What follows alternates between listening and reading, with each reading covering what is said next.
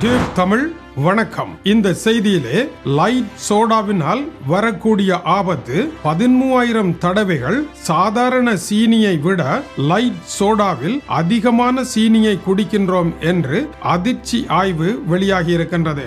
Dementia என்கின்ற மறதி நோய் வருவதற்கு முக்கிய காரணங்கள் நாங்கள் பார்க்கின்ற வேலைகள் என்றும் அந்த வேலைகள் மறதி நோய் மீது பாதிப்பை ஏற்படுத்துகின்றன என்று நோர்வேயில் இருந்து முக்கிய ஆய்வு வெளியாகி இருக்கின்றது. இளையோருக்கு ரெடிமேட் உணவுகளை வாங்கி வழங்குவதனால் அவர்களுடைய ஞாபக சக்தி எப்படி வீழ்ச்சியடைந்து செல்லுகின்றது என்பது தொடர்பாக அமெரிக்காவிலிருந்து இன்னொரு ஆய்வு வெளியாகி இருக்கின்றது. இன்றைய செய்திகளில் பலரையும் திரும்பி பார்க்க வைத்த மூன்று முக்கிய செய்திகள் இடம்பெறுகின்றன. சர்க்கரை வியாதியா? லைட் சோடா குடித்தால் அது சிறப்பாக அமையும் என்ற ஒரு கருத்து மக்களிடையே நிலவிக் கொண்டிருக்கின்றது ஆனால் லைட் சோடா சாதாரணமான இனிப்பு சோடாவை விட அதிக இனிப்பு கூடியது என்று கூறப்படுகின்றது. பதிமூவாயிரம் தடவைகள் இதனுடைய இனிப்பு சாதாரண சர்க்கரை அல்லது சீனியுடன் ஒப்பிட்டால் அதிகமாக இருப்பதாக கூறப்படுகின்றது. கேலரி குறைந்த லைட் சோடாவை குடிக்கின்றோம் என்று நாம் சமாதானம் சொன்னாலும் உண்மையாக அதற்குள்ளே சேர்க்கப்பட்டிருக்கின்ற ரசாயன பொருட்கள் சீனியை விட ஆபத்தானவை. இந்த சீனி என்பதை இந்தியாவில் சர்க்கரை என்று கூறுகின்றார்கள் என்பது கவனிக்கத்தக்கது. இந்த இனிப்பு கலவை ஆபத்தானது என்றும் தெரிவிக்கப்படுகின்றது. நியோரம் என்கின்ற ரசாயன பதார்த்தம் இதற்குள் கலக்கப்படுகின்றது. இதனுடைய ரசாயன குறியீட்டு பெயர் இ தொள்ளாயிரத்தி அறுபத்தி ஒன்று ஆகும். இது நச்சுத்தன்மை கொண்டது. ஆனால் நாகபாம்பின் விஷத்திலிருந்து மருந்து தயாரிப்பது போல இது அமைந்திருக்கின்றது. நமது வயிற்றின் குடல் பகுதியை தீர்மானிப்பதில் குடலில் அமைந்திருக்கும் பாக்டீரியாக்கள் கதாநாயகன் பாத்திரம் வகித்து கொண்டிருக்கின்றது. நமது உணவு விருப்பத்தை கூட தூண்டி விடுகின்றதாக அந்த பாக்டீரியாக்களே இருக்கின்றன. இந்த பாக்டீரியாக்களை அழித்து குடல் சுவரையும் அழித்து விடுகின்றது. இந்த லைட் சோடா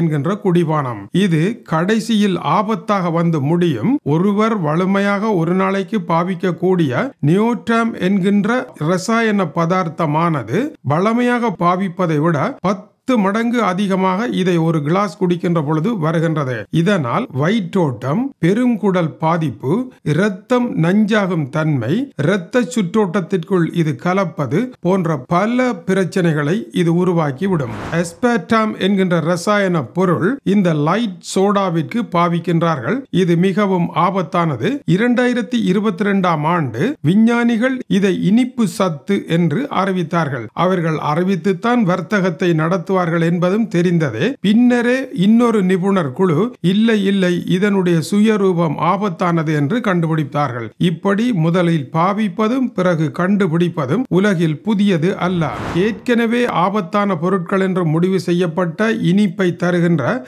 சக்கரின் சுக்கலோஸ் அஸ்பேட்டம் ஆகியவற்றில் இருந்த அதே பிரச்சனை இதிலும் இருக்கின்றது. உலக சுகாதார ஸ்தாபனத்தினுடைய ஆய்வுப்படி அஸ்பேட்டம் என்பது நீண்ட கால அடிப்படையில் புற்றுநோயை உருவாக்கும் என்று கூறியிருக்கின்றது. நியோட்டம் என்பது பத்து வருடம் ஐரோப்பிய சந்தையில் பாவிக்கலாம் என்று அனுமதி பெற்று இருந்ததும் அதனால் லைட் சோடாக்கள் அளவுக்கு அதிகமாக விற்பனையானதும் அது ஒரு கற்பனை கதையாக பறந்ததும் அதை நம்பி சோடா குடிக்காதவன் கூட குடித்து மகிழ்ந்ததும் இதனால் சர்க்கரை வியாதிக்கு பிரச்சனை இல்லை என்று நினைத்து நஞ்சை குடித்ததும் வரலாறாக இருக்கின்றது. அது குடித்து அதனால் வருகின்ற வருமானம் எல்லாம் உழைத்த பின்னர் ஆகா இது சரியானது அல்ல என்பதை விஞ்ஞானிகள் கண்டுபிடிக்கின்ற அதிசயத்தை அதையும் ஆராய்வு செய்ய வேண்டியதாக இருக்கின்றது என்பது இந்த செய்தி தரும் செய்தி சிந்தனை ஆகும். மேலும் நோர்வே ஒஸ்லோ பல்கலைக்கழக வைத்தியசாலை பிரிவினுடைய ஆய்வு நிபுணர்கள் நினைவு மறதி நோய் தொடர்பாக இன்னொரு ஆய்வை வெளியிட்டிருக்கின்றார்கள். நாங்கள் செய்கின்ற வேலைகளே நமது நினைவு மறதியை உருவாக்கி கொண்டிருக்கின்றன என்றும் சிறந்த கல்வியும் சிறந்த தேடலும் சிறந்த மொழி தேடல்களும் நினைவு மறதியை அழிந்து விடாமல் காப்பாற்றுவதில் முக்கிய பங்கை வகிப்பதாகவும் ஒரே விதமான வேலையை செக்கு மாடு போல தொடர்ந்து செய்து மூளையை பாவிக்காமலே அந்த வேலையை செய்து முடிக்கின்ற பொழுது நினைவு மறதி நோய் மிக விரைவாக வருவதாகவும் அது கூறுகின்றது. உதாரணமாக ஆசிரிய தொழில் ஏனெனில் சரியான பாடசாலை சரியான நாடு சரியான கல்வி திட்டம் சரியான தரமுள்ள ஆசிரியர்களை தேர்வு செய்கின்ற நாடுகளில் பணியாற்றுகின்ற ஆசிரியர்கள் மிகச்சிறந்த நிலையில் நினைவு மறதி நோய்க்குள் அகப்படாமல் இருக்கின்றார்கள். அவர்கள் மாணவர்களினுடைய கேள்விக்கு ஏற்ப பதில்களை கூற வேண்டியதும் தொடர்ந்து தேடிக்கொண்டே இருக்க வேண்டிய காரணத்தினால் அவர்களுடைய மூளை மூளையினுடைய ரிசர்வ் பகுதி என்று கூறப்படுகின்ற தகவல்கள் சேகரித்து வைத்திருக்கின்ற அந்த ரிசர்வ் பகுதியை தொடர்ந்து அதிலிருந்து தகவல்களை கூகுளில் இருந்து தேடுவது போல தேடிக்கொண்டே இருப்பதனால் நினைவு மறதி நோயிலிருந்து அவர்கள்தான் தப்பி பிழைப்பதில் முதலாவது இடத்தை பிடிக்கின்றார்கள். அது நல்லாசிரியராக இருந்தால் மட்டும் என்பது முக்கியம். ஆசிரியர்கள் எல்லாம் ஆசிரியர்கள் அல்ல. இரண்டாவதாக துப்புரவு தொழில் செய்வோர் போஸ்ட் பியூன் வேலை செய்வோர் கால்களில் சாக்கை கட்டி ரோடு போடும் வீதி பணியாளர்கள் இவர்கள் ஒரே விதமாக வேலை செய்கின்ற காரணத்தினால் நினைவு மறதி நோய் இவர்களுக்கு விரைவாக வந்து விடுகின்றது. மூளையை அதிகமாக பாவித்து தேடலை வழங்க வேண்டிய தேவையில்லாத காரணத்தினால் மறந்தே போய்விடுகின்றார்கள். இன்று உலகில் ஐம்பத்தி ஐந்து மில்லியன் மனிதர்கள் நினைவு மறதி நோயினால் பாதிக்கப்பட்டிருக்கின்றார்கள். பத்து மில்லியன் பேர் ஒவ்வொரு வருடமும் புதிதாக இந்த அணியில் இணைந்து கொண்டிருக்கின்றார்கள்.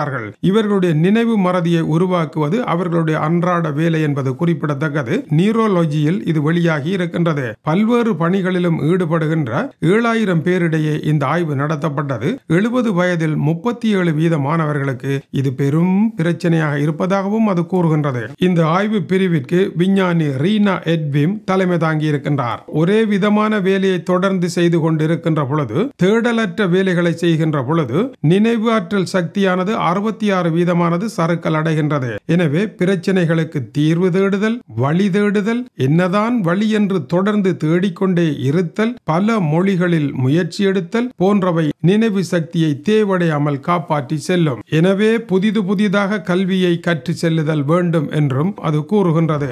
இன்னொரு ஆய்வின்படி இளையோருடைய ஞாபக சக்தியை பாதிப்பதில் ரெடிமேட் உணவுகள் முக்கிய பாத்திரம் வகிப்பதாக கூறப்படுகின்றது. யூனிவர்சிட்டி ஆஃப் சவுத் கலிபோ கலிபோர்னியா செய்த இந்த ஆய்வு கடைகளில் சென்று உடனடியாக ஃபாஸ்ட் ஃபுட் என்று கூறப்படுகின்ற உணவை வாங்கி சாப்பிடும் பிள்ளைகளினுடைய நிலையை மிகவும் ஆபத்தான இடத்திற்கு பெற்றோர் கொண்டு செல்லுகின்றார்கள் என்பது அதனுடைய கருத்தாகவும் இருக்கின்றது. அப்பா என்று உடம்பெல்லாம் வலியாக இருக்கின்றது. பீட்சாவிற்கு ஆர்டர் பண்ணுங்கள் பர்கருக்கு ஆர்டர் பண்ணுங்கள் பொரித்த கோழிக்கு ஆர்டர் பண்ணுங்கள் என்றால் அதை உண்டு வரும் பிள்ளைகளுடைய மூளை மெல்ல மெல்ல சருகி பின்னடைவு கண்டு அவர்கள் இதைவிட அதிகமாக பீட்சாவிற்கு ஆர்டர் செய்யும் தலைமுறையாக வந்து நிற்பார்கள். இப்பொழுது அவர்கள் தான் வந்து நிற்கின்றார்கள். இத்தகைய உணவுகள் அசிடைல் கொலின் என்று கூறப்படுகின்ற உடற்கூற்றின் பகுதி மீது பாதிப்பை ஏற்படுத்தும். இதிலே நியூரோ டிரான்ஸ்மீட்டர் என்கின்ற பகுதி ஞாபக சக்தியில் முக்கியமான பாத்திரம் வகிக்கின்றது. அதன் மீதான தாக்கம் இருக்கும். அசிடைல் கொலின் என்கின்றது குறைவாக செல்ல செல்ல பிள்ளைகளினுடைய ஞாபக சக்தி ஆற்றல் குன்றியதாக மாறிக்கொண்டே செல்லும். பரீட்சைகளில் சித்தியடைய முடியும். முடியாமலும் கடைசி மாணவர்களாகவும் விரக்தியாகவும் பிரச்சனைக்கு உரியவர்களாகவும் மாற இது காரணமாக இருக்கின்றது. இந்த நோய் கடைசியாக எங்கு கொண்டு செல்லும் என்றால் அல்சிமைட்ஸ் என்கின்ற நோய்க்குள் கொண்டு சென்று நிறுத்திவிடும். எலியில் செய்யப்பட்ட ஓர் ஆய்வில் இந்த ஃபாஸ்ட் ஃபுட் என்று கூறப்படுகின்ற உணவை வழங்கிய பொழுது எலிகளினுடைய வளர்ச்சி ஆறிலிருந்து எட்டு வாரம் அதிக வயதுடையதாக வயதிற்கு மீறிய வளர்ச்சியை காட்டின. எனவே இன்றுள்ள பிள்ளைகள் வயதிற்கு மீறிய வளர்ச்சி எடுப்பதற்கு இந்த ஃபாஸ்ட் ஃபுட் ஒரு முக்கிய காரணம் என்பது இந்த ஆய்வாகும்.